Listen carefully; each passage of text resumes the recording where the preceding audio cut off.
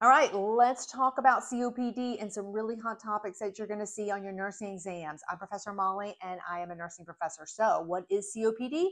It is chronic obstructive pulmonary disease.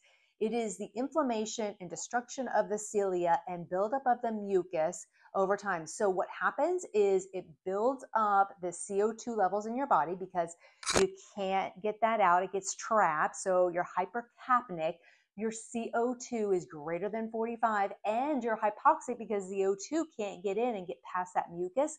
So your O2 sats are low. So typically these people run about baseline 88, 92%.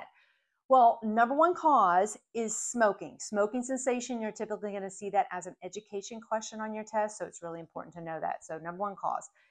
Two is that you're going to see something about nutrition. And frequently what you're going to see is that they need higher protein because they lose weight and so they are usually malnourished.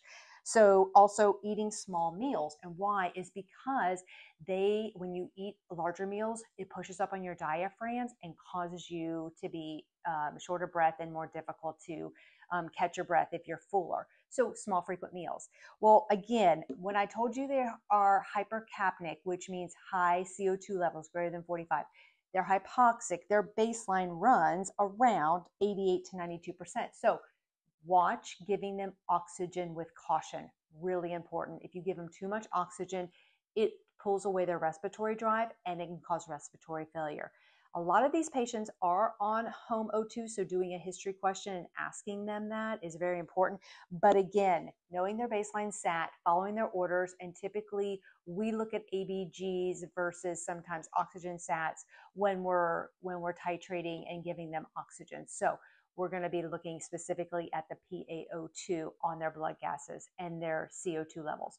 I hope that makes sense. And you can find more information in my nursing notebook, especially because there's two types of um, the COPD, which is emphysema and the chronic bronchitis. So I break down the, the two different types as well. So hope you have a great day and hope that makes sense.